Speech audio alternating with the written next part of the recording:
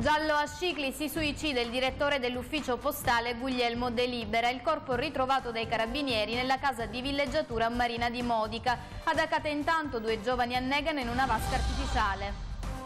Colpo di scena nella vicenda della costituzione delle nuove Camere di Commercio. Da Ragusa e Siracusa le proposte per la fusione dei due enti lasciando fuori Catania. Oggi ultimo giorno di campagna elettorale in vista del voto di domenica 5 giugno. A Vittoria arriva l'ultimo big, a mezzanotte scatta il silenzio per la pausa di riflessione. Intanto il sindaco saluta istituzionalmente la città. La Regione approva il calendario del nuovo anno scolastico, si torna tra i banchi il 14 settembre, confermata la durata delle vacanze di Natale più brevi quelle di Pasqua.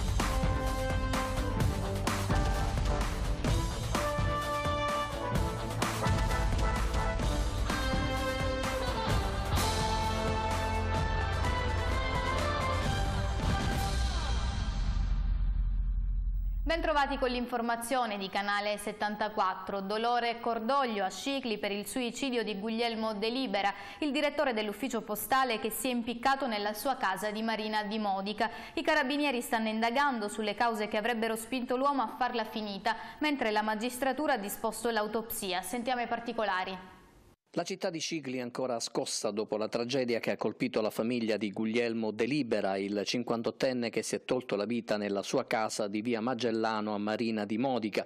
Per due giorni aveva fatto perdere le sue tracce. I familiari, preoccupati del fatto che non fosse rientrato a casa e non riuscendo più a rintracciarlo, avevano allertato le forze dell'ordine. Poi, dopo 48 ore, la terribile scoperta. Le preoccupazioni si sono dimostrate fondate e il corpo senza vita dell'uomo è stato trovato arrestato dai carabinieri. Delibera era molto conosciuto in città anche per via del suo lavoro.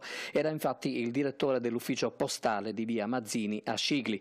Non si sa ancora cosa lo abbia portato a decidere di farla finita legandosi un cappio al collo e impiccandosi. Sul posto, dopo il triste ritrovamento del corpo, si sono recati anche il medico legale e il pubblico ministero di turno. Quest'ultimo ha disposto l'autopsia per stabilire l'esatta causa della morte. Adesso un'intera città è ancora sotto shock e si stringe attorno al dolore dei familiari.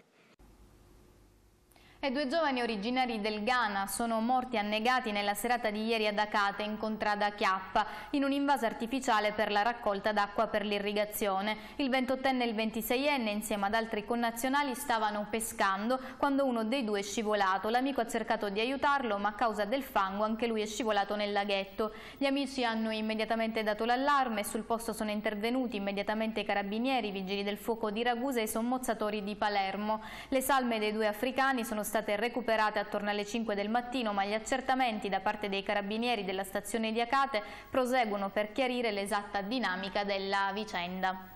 E ora la pagina politica. Progetto popolare per Modica rilancia l'allarme sulle privatizzazioni. Dopo la denuncia sulle intenzioni dell'amministrazione comunale di privatizzare il servizio idrico e il tentativo del sindaco di difendere il suo operato, il gruppo politico lancia nuove accuse. Sentiamo i particolari.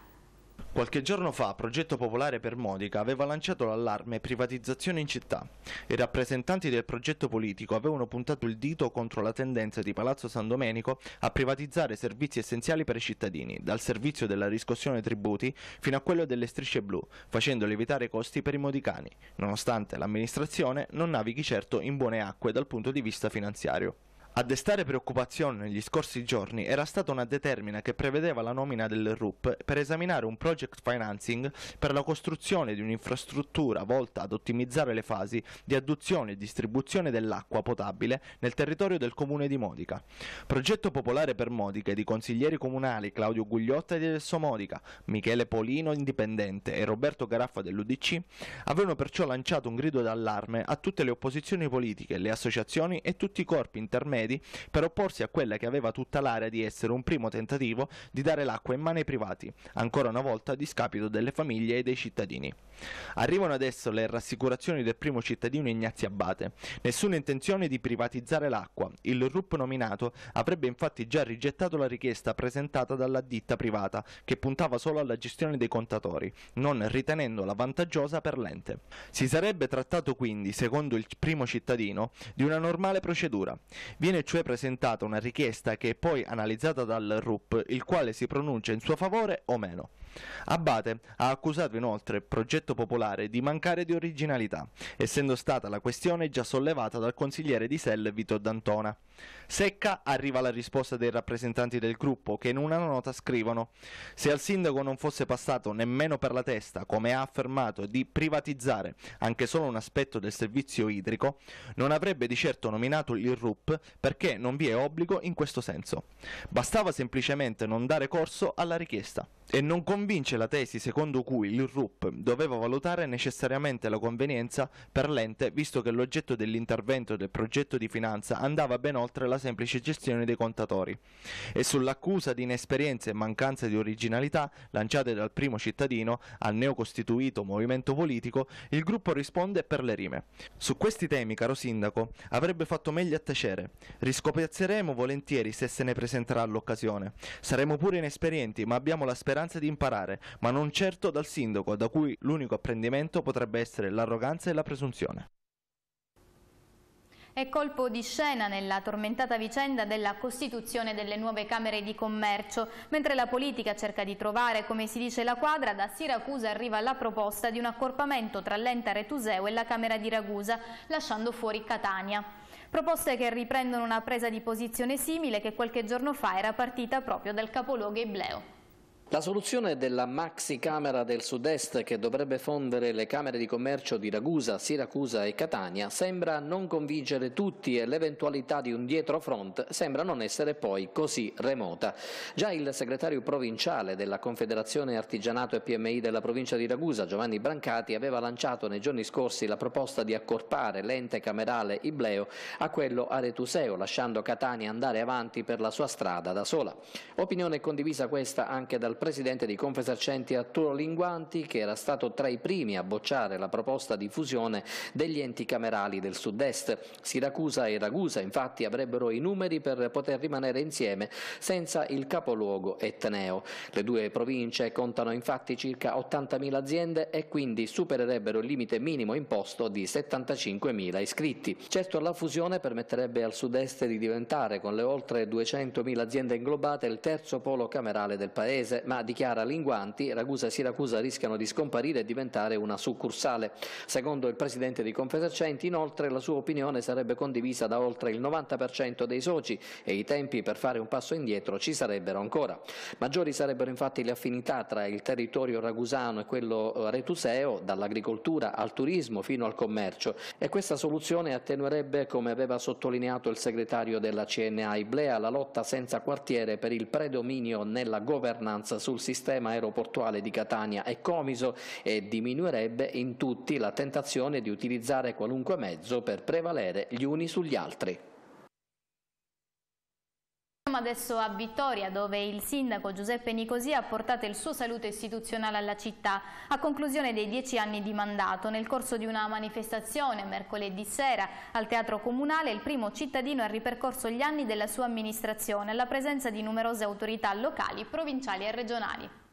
Una manifestazione per salutare istituzionalmente la città a conclusione dei dieci anni di mandato.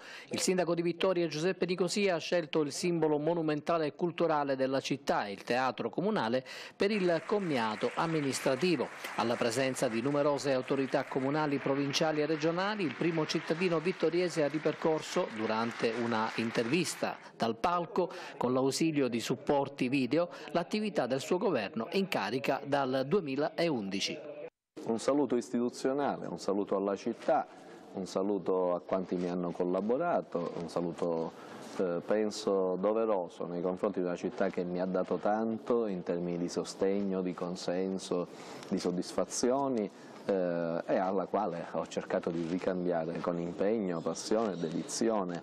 Eh, un saluto per eh, fare anche il punto della situazione sulle tante cose fatte, su qualche compiuta, eh, un consuntivo eh, di dieci anni che sono un pezzo di vita, un, eh, veramente sono, sono, lunghissimi, tutti vissuti intensamente, con le gioie, eh, con le soddisfazioni che può regalare eh, la guida di una città e la rappresentanza di una città così importante, ma anche con i dolori, eh, con le difficoltà di un periodo di crisi senza precedenti, ingrato veramente per chiunque amministri gli enti locali, o con le tante eh, i tanti eventi che hanno connaturato questi dieci anni, alcuni tragici, alcuni invece splendidi, di, di grandissima crescita, quindi dieci anni eh, che ripercorriamo, oh, qualche emozione, ma soprattutto molto senso delle istituzioni del dovere e un saluto a questa città che eh, ovviamente eh, non smetterà mai di essere la città di di chi ha fatto il sindaco, è una maglia che si tatua addosso sulla pelle del, di chi lo fa e, e lo continua ad essere a vita. Tra i presenti anche il segretario regionale del Partito Democratico Fausto Raciti che abbiamo avvicinato per un suo commento. Io credo che sia stato un ciclo importante per la città, eh, credo che sia stato portatore di un eh, messaggio di innovazione. Insieme abbiamo affrontato tante sfide difficili, soprattutto nell'ultimo periodo in cui, non per responsabilità del sindaco, ma la crisi si è fatta, si è fatta sentire e lui ha avuto la capacità di fare sentire forte la voce di Vittoria in regione, fuori Vittoria, fino al, fino al Ministero, fino al Governo. Eh, noi lo abbiamo accompagnato in questo percorso con grande, con grande piacere e speriamo che come Partito Democratico eh, l'esperienza positiva di questi anni eh, possa continuare in questa città. L'ultimo giorno di campagna elettorale anche nei comuni siciliani interessati al voto amministrativo di domenica 5 giugno. A Vittoria l'attesa si fa sempre più spasmodica e i candidati stanno sfruttando le ultime ore a disposizione per gli ultimi incontri pubblici. Domani scatterà la giornata della riflessione e del silenzio prima dell'apertura delle urne che avverrà domenica alle 7. Intanto nella città ipparina mercoledì sera ha fatto tappa il deputato e portavoce dei 5 Stelle Alessandro Di Battista. Il servizio. In tantissimi al grido di onestà hanno accolto mercoledì sera Alessandro Di Battista, arrivato a vittoria a sostegno del candidato sindaco Carmelo Giurdanella. Prima che sia troppo tardi concediamoci un'opportunità tutti insieme, metteteci alla prova. Con queste parole Di Battista, portavoce alla Camera dei Deputati e membro del gruppo politico che coordina a livello nazionale il Movimento 5 Stelle, ha concluso il suo intervento durante il comizio sul palco montato nell'isola pedonale Vittoria Colonna vicino a Piazza Italia. Italia. Accanto a lui il candidato sindaco Carmelo Giordanella e gli attivisti del Movimento 5 Stelle, oltre a Ignazio Corrao, portavoce al Parlamento europeo, Maria Lucia Lorefice, portavoce nazionale, Vanessa Ferreri, portavoce all'Assemblea regionale e Federico Piccitto, sindaco 5 Stelle di Ragusa. Nel suo intervento Di Battista non è sceso nei particolari del dibattito politico vittoriese, ripercorrendo in linea generale i claim del movimento. Sentiamo l'affetto delle persone, ha detto Di Battista, e la gratitudine fine perché stiamo combattendo per l'interesse generale. Noi staremo nelle istituzioni solamente un tempo limitato, proseguito il portavoce alla Camera dei Deputati dei 5 Stelle, poi torneremo nel mondo reale ed è nostro interesse migliorarlo. Si vede il nostro impegno che crediamo in quello che facciamo e fino a quando avremo un popolo che non soltanto ci sostiene ma che ci fa anche pressione e ci controlla, questo fa sicuramente bene e ci spinge a fare sempre di più.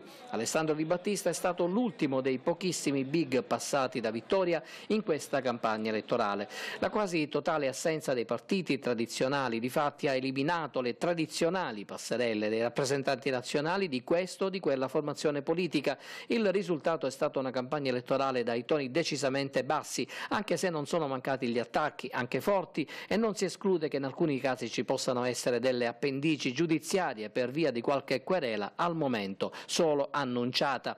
I nove candidati a sindaco e i quasi 500 al Consiglio Comunale sono concentrati a cercare di convincere gli indecisi e avranno fino alla mezzanotte di oggi per farlo. Domani infatti scatterà la cosiddetta pausa di riflessione prima di domenica 5 giugno, quando dalle 7 in poi si potrà votare fino alle 23, lo ricordiamo, in una sola giornata. Gli aspiranti sindaci si spartiranno una torta di poco più di 20.000 voti validi e alcuni analisti affermano che al momento ci sarebbero ancora circa 6.000 voti fluttuanti, cioè quelli degli indecisi appunto, che solo nella giornata del voto si andranno a posizionare definitivamente. Ecco perché la partita è difficile per tutti e perché non basterà il primo turno a consegnare alla città il nuovo sindaco. In questa finale infatti, per dirla alla calcistica, saranno necessari tempi supplementari, cioè il ballottaggio del 19 giugno per decretare il vincitore finale.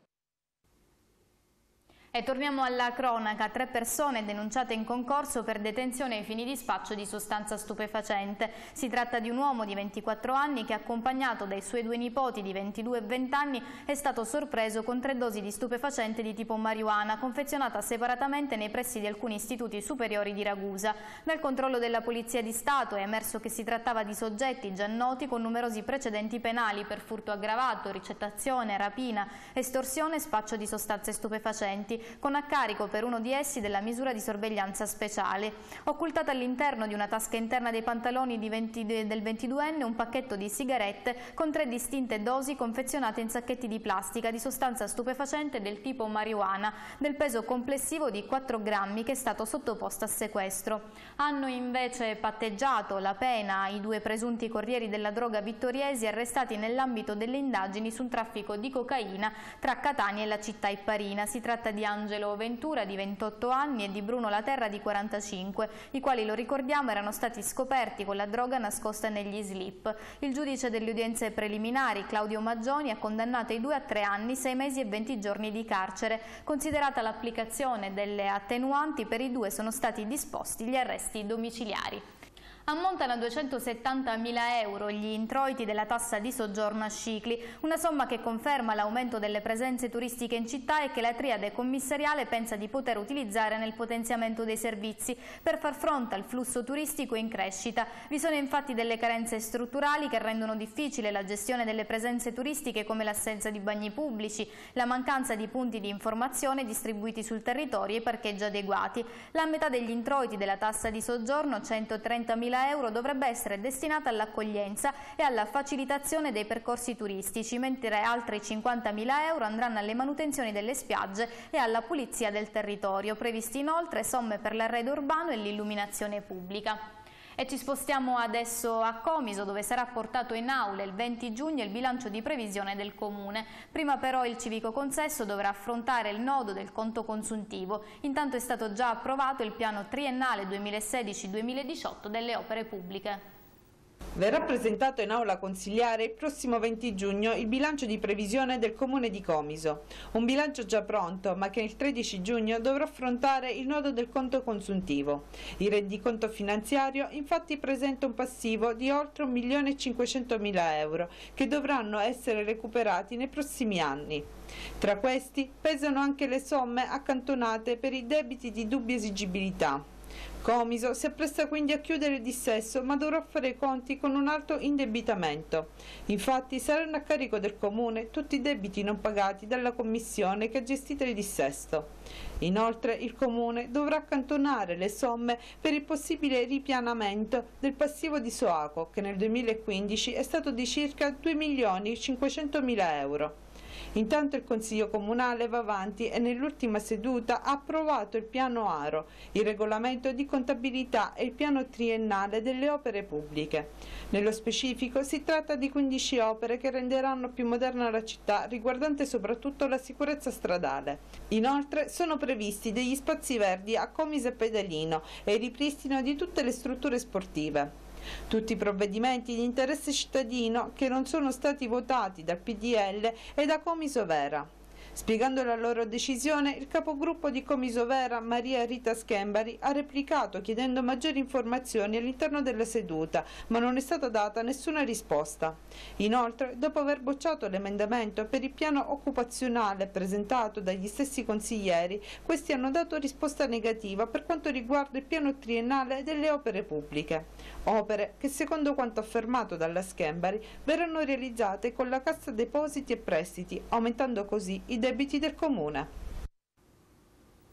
E ancora non è suonata per i ragazzi l'ultima campanella scolastica di quest'anno e già si guarda al prossimo. Infatti mercoledì scorso è stato firmato il decreto che prevede l'inizio, la fine e le festività per l'anno scolastico 2016-2017. Il provvedimento firmato dall'assessore regionale alla formazione e istruzione Bruno Marziano stabilisce che il prossimo 14 settembre avranno inizio le lezioni per tutti gli studenti siciliani e termineranno venerdì 9 giugno. Inoltre nel decreto si legge che le vacanze di Natale Natale inizieranno il 22 dicembre e termineranno il 6 gennaio, ma poiché il 7 sabato si tornerà in classe il 9, un po' più brevi le vacanze di Pasqua che interesseranno tutti gli studenti dal 13 al 18 aprile. In Sicilia ci sarà un giorno di vacanze in più rispetto al resto d'Italia per celebrare la festa dell'autonomia il 15 maggio. Per il resto le altre giornate di festa sono quelle tradizionali. In totale i giorni di scuola saranno 208. Nelle scuole dell'infanzia, come ogni anno, il termine dell'anno scolastico è stato fissato per il 30 giugno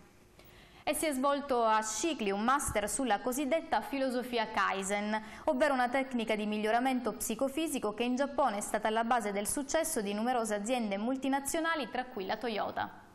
Nella giornata di mercoledì presso la struttura di casa imbastita a Scicli si è tenuto un master sulla filosofia Kaizen, ovvero sul miglioramento continuo verso il raggiungimento della qualità totale, il cambiamento che ha permesso alle più grandi aziende giapponesi di primeggiare sui mercati mondiali. La Toyota, ad esempio, è il simbolo della filosofia Kaizen. Relatore del master Luciano Ghelli, una lunga carriera ai vertici di grandi multinazionali e una passione per il judo che lo ha portato sin da bambino ad avvicinarsi e ad abbracciare la filosofia filosofia nipponica. La filosofia del Kaizen è nata in Giappone per una ragione specifica, per la cultura giapponese.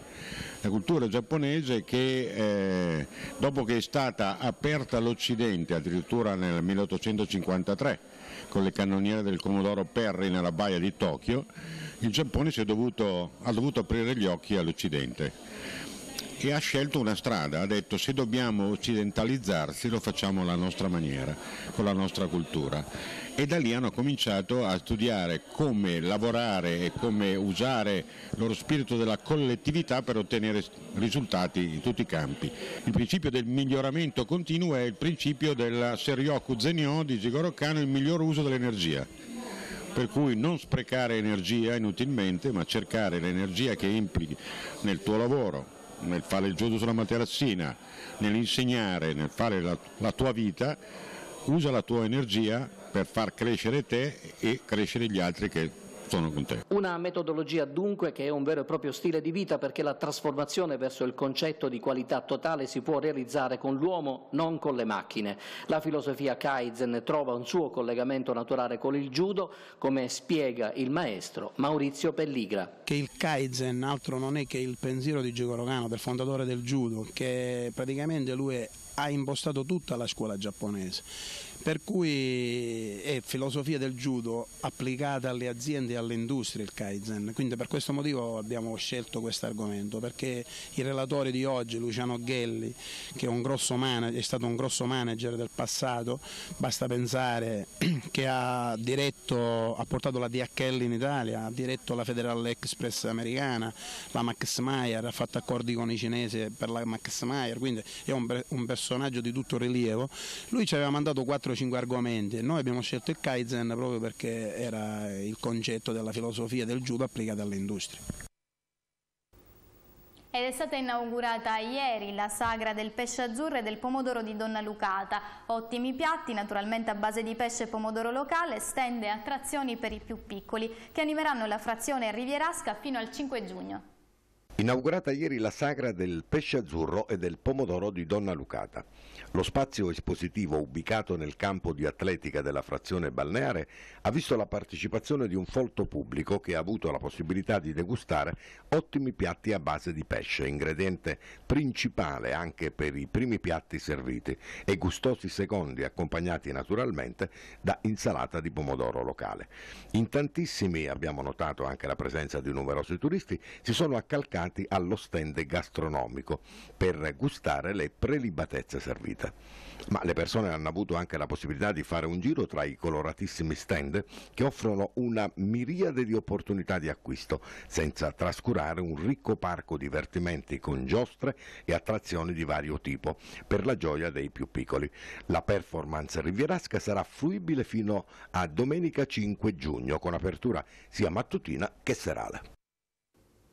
E domani, sabato 4 giugno, transiterà anche in provincia di Ragusa il Giro di Sicilia Targa Florio promosso da Club Panormus e giunto alla 36esima edizione. Sono quattro le tappe che interesseranno l'area Eblea, l'arrivo è prevista a Vittoria in corso Garibaldi alle 11.45. Il transito a Comiso invece è fissato intorno alle 12, mentre le auto storiche arriveranno a Modica in corso Umberto intorno alle 12.50. Inoltre a Ragusa Ibla in piazza Duomo alle 14.30 ci sarà la partenza di una tappa. Nel corso di quest'ultima iniziativa iniziativa che ricade nel contesto dei solenni festeggiamenti in onore di San Giorgio è prevista la cerimonia di benedizione della prima auto. E ieri la terza edizione della mostra canina della Contea a Modica in Viale Medaglie d'Oro, soddisfatti gli organizzatori per il grande successo di pubblico e di iscritti. Si è svolta ieri la terza mostra cinofila della Contea in Viale Medaglie d'Oro, un appuntamento che ha visti coinvolti non solo cani di razza ma anche meticci. Angelo Cassarino, Loris Battaglia e l'associazione Galapagos Amici degli Animali anche quest'anno sono riusciti ad organizzare un evento unico nel suo genere. Tanti partecipanti che come ogni anno hanno voluto far sfilare l'amico più fedele. Gli amici a quattro zampe sono stati divisi non solo tra razze e meticci, ma anche in varie categorie. I più piccoli, naturalmente baby, di età compresa tra i 3 e i 6 mesi, subito dopo la categoria giovane tra i 6 e i 12 mesi e infine gli adulti di età superiore ai 12 mesi, tutte categorie che si sono sfidati a colpi di passerella. Il suo cane è vincitore di quale categoria? Della categoria giovani. Come si chiama? Quanti anni ha? Ce lo vuole descrivere un po'? E si chiama Aspen a 14 mesi, è un broken eh, Jack Russell. E niente, abbiamo partecipato qui per, eh, per passare un giorno diverso dagli altri. Com'è stata questa esperienza?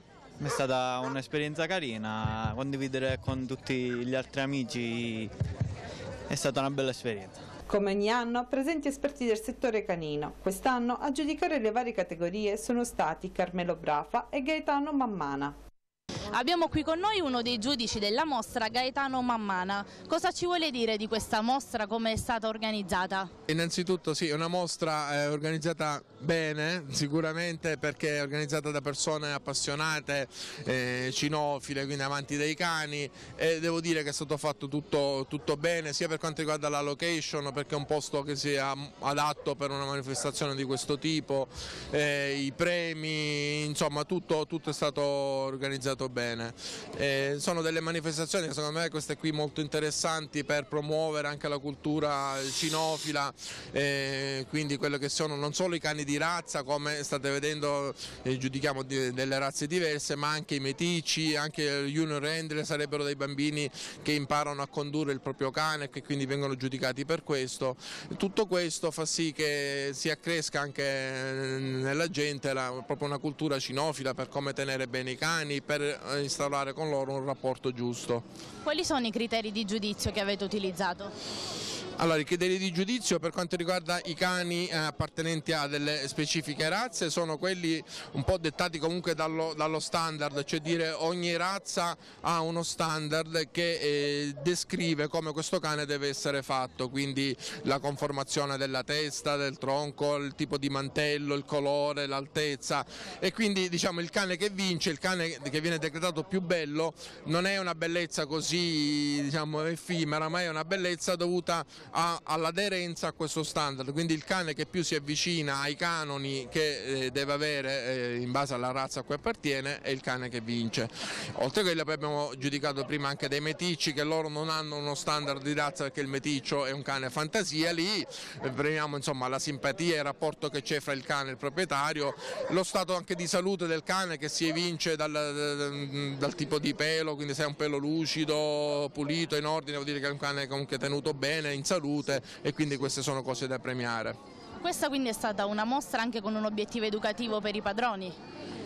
Sicuramente è un obiettivo educativo per i proprietari dei cani e anche per chi non ha magari in questo momento un cane ma si vorrebbe avvicinare a questo mondo, a questo universo canino eh, che quindi ha modo di vedere non solo razze diverse quindi perché poi per ogni persona c'è la razza che più si addice in base ai propri gusti, alle proprie esigenze e insomma capire come vanno un po' tenuti e gestiti i cani.